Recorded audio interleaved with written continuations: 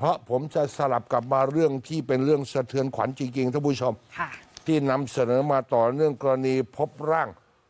ลักษณะถูกหั่นเป็นท่อนสองครั้งค่ะครั้งหนึ่งเนี่ยพบตะโพก อีกครั้งหนึ่งพบท่อนขา ในบ่อขยะที่เกาะพังงานของเทศบาล แล้วตำรวจไล่เรียงกล้องวงจรปิดจนกระทั่งพบว่าผู้ต้องสงสัยซึ่งก็เป็นคนมาแจ้งความเป็นหนุ่มชาวสเปนน้องไบรท์ อายุเพียง 29 ปีชื่อแดเนียลซานโชสัญชาติสเปน คนนี้เนี่ยมาแจ้งความเมื่อเพื่อนหาย ค่ะ เพื่อนคนนี้อายุ 44 ปี เป็นศัลยแพทย์ด้านความงาม ชาวโคลัมเบียอายุ 44 ชื่อนายชื่อเอ็ดวิน แอดวิน ค่ะ อาเรียตาอาเตอากาอายุ 44 เนี่ยหายไปตำรวจตั้งข้อสงสัยเฮ้ยชิ้นส่วนที่พบน่าจะเป็นชาวต่างชาติ ไล่วงจรปิดปรากฏว่า นายแดอ่าเนียลแดเนียลคนนี้เนี่ยอายุ 29เนี่ยค่ะ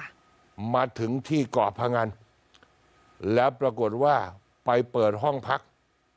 แล้วขี่มอเตอร์ไซค์ไปซื้ออุปกรณ์ต่าง ๆ ที่เกี่ยวข้องกับการที่จะใช้เอาไปทิ้งร่างทิ้งชิ้นส่วนได้ ไม่ว่าจะเป็นมีดถุงพลาสติก หรือว่าน้ำยาทำความสะอาดคือภาพวงจรปิดไล่เลยค่ะไปซื้อที่ห้างค่ะแล้วก็ขี่มอเตอร์ไซค์มาที่รีสอร์ท ต่อมาไปตรวจรีสอร์ทแห่งนี้ปรากฏว่ามีการร้องร้าง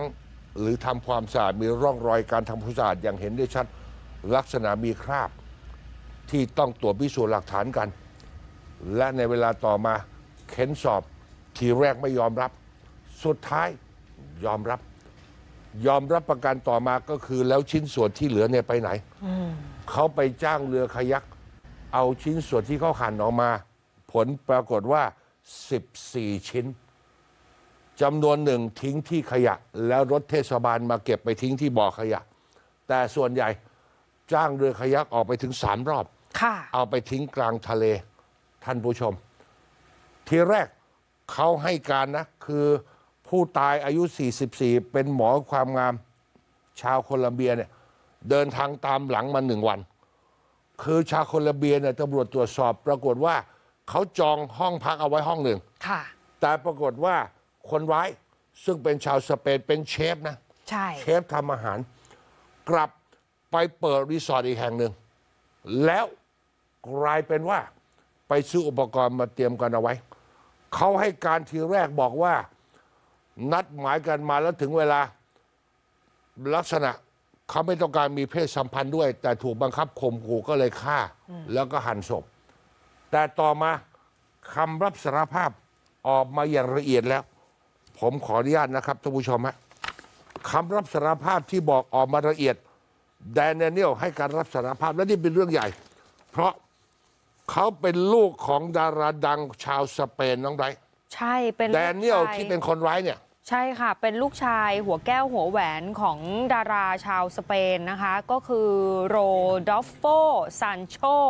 ท่านนี้เป็นนักแสดงชื่อดังของสเปนค่ะ มีผลงานการแสดงมามากมาย แล้วก็เช่นยังเป็น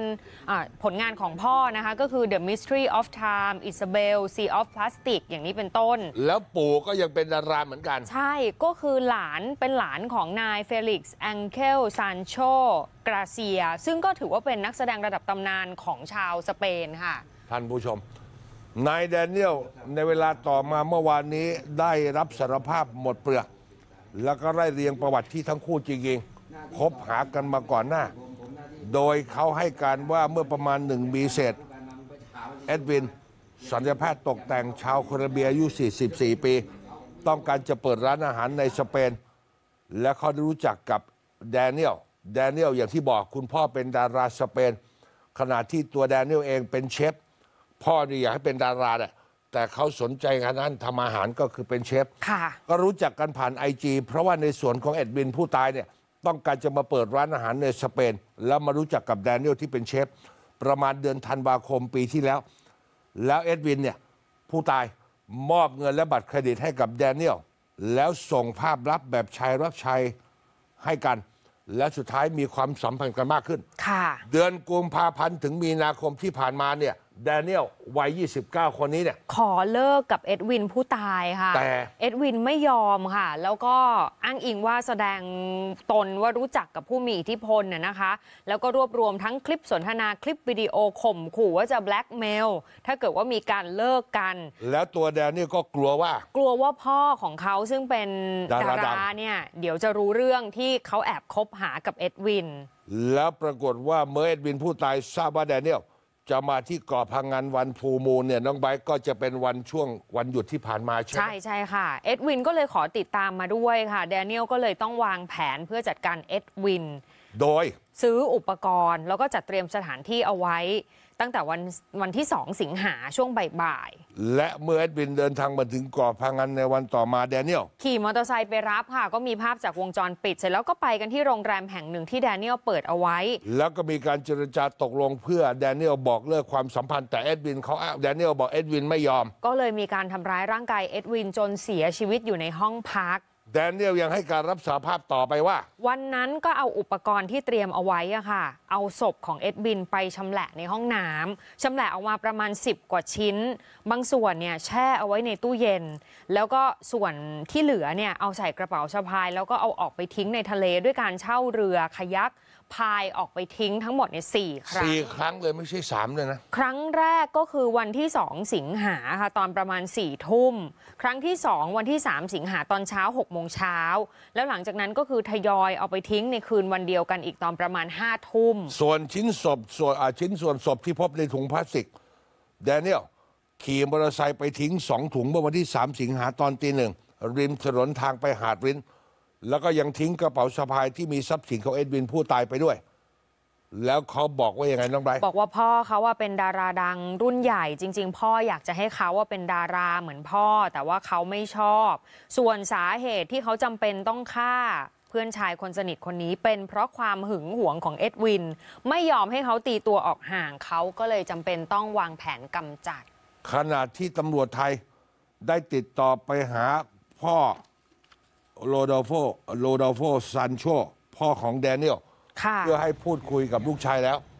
แล้วก็ใช่มีรายงานล่าสุดเนี่ยน้องไบร์ทว่าผู้พ่อเนี่ยค่ะ รู้สึกช็อกมากนะคะพอรู้ว่าลูกชายกลายเป็นผู้ต้องหาฆ่าหั่นศพ มีรายงานด้วยว่านายโรดอลโฟ ซึ่งเป็นดาราชาวสเปนชื่อดังเนี่ยค่ะ ได้ประสานสถานเอกอัครราชทูตสเปนประจำประเทศไทย เพื่อขอให้ช่วยประสานงาน และเตรียมการเดินทางเขาจะมาประเทศไทยโดยด่วนนะคะ เพราะอัตราโทษในคดีนี้สำหรับประเทศไทยก็คือโทษสูงประหารชีวิต พ่อเนี่ยเป็นห่วงลูกชายคนนี้มากค่ะ เห็นว่าได้เตรียมจัดหาทนายเข้ามาดูแลเรื่องคดีให้ลูกชายด้วย ขณะที่เมื่อวานนี้ท่านผู้ชมตำรวจโรงพักพังงานได้รับแจ้งจากตำรวจน้ำและทีมค้นหาชิ้นส่วน ชิ้นส่วนของเอ็ดวินที่ถูกจ้างเช่าเอาเรือขยะเอาไปทิ้งกลางทะเล มันลอยมาติดที่ชายหาดใช่ มันถูกคลื่นซัดมาติดโขดหินใกล้ ๆ กับชายหาดสลัดค่ะ โดยลักษณะชิ้นส่วนทั้งหมดเนี่ยถูกห่อเอาไว้ในถุงพลาสติกสีดำนะคะ ถุงดำนี้มีกลิ่นเหม็นเน่าโชยออกมา พอเจ้าหน้าที่เปิดถุงออกเนี่ยก็คือมีทั้งหมด 4 ชิ้น เป็นส่วนของศีรษะ มือขวา หัวไหล่ ท่อนแขนขวา อยู่ในถุงดำสภาพก็คือเริ่มเน่าเปื่อยส่งกลิ่นค่ะ ท่านผู้ชม ก็คงจะทยอยมาติดชายหาดหรือยังไงใช่ไหม ค่ะ เพราะเขาบอกว่าตัดไปเนี่ย14ชิ้นด้วยกัน ใช่ ขณะที่การทำแผนเมื่อวานตามขั้นตอนของกฎหมายตำรวจก็นำตัวไปทำแผน ตั้งแต่จุดแรกริมถนนใกล้ท่าเทียบเรือบ้านท้องสาราที่ขี่มอเตอร์ไซเกาะพะงัน ค์ไปรับเอ็ดวินนะคะ แล้วก็ปรากฏว่าจุดที่สองเป็นร้านกาแฟห่างจากจุดแรก 1 กิโล จุดที่สามก็เป็นห้างที่แดเนียลไปซื้ออุปกรณ์ เช่นมีดถุงพลาสติกและน้ำยาทำความสะอาด เพื่อเตรียมจะทำร้ายเหยื่อ นั่นแปลว่ามีการวางแผนคือฆ่าโดยไตร่ตรอง จุดที่ 4 ชายหาดริ้นในคืนเกิดเหตุตรงกับงาน full moon party แดเนียลนำทรัพย์สินของเอ็ดวินผู้ตายเช่นนาฬิกาแท็บเล็ตกระเป๋าสตางค์ไปโยนทิ้งหลังจากสังหารเหยื่อ จุดที่ 5 จุดที่ 5 ใกล้ชายหาดหินกองค่ะ ที่แดเนียลเอาชิ้นส่วนผู้ตายใส่ถุง แล้วไปทิ้งขยะอยู่ริมถนนนะคะ จุดที่หกเป็นรีสอร์ทซึ่งอยู่ใกล้ๆชายหาดสลัดที่แดเนียลเปิดห้องพักไว้แล้วพาผู้ตายเข้าพักแล้วหายตัวไป และแล้วจุดที่ 7 ก็คือริมชายหาดสลัดที่แดเนียลไปเช่าเรือคายักพายออกทะเล เอาชิ้นส่วนศพไปโยนทิ้งทะเลค่ะนั่นแหละครับตำรวจไทยก็สามารถคลี่คลายคดี ซึ่งปัจจุบันการก่อเหตุเนี่ย อาชญากรรมอาจจะไม่ทิ้งร่องรอย แต่วงจรปิดมันจะเต็มไปหมดเลยน้องไบร์ทค่ะก็สามารถคลี่คลายคดีได้อย่างรวดเร็วเอ้า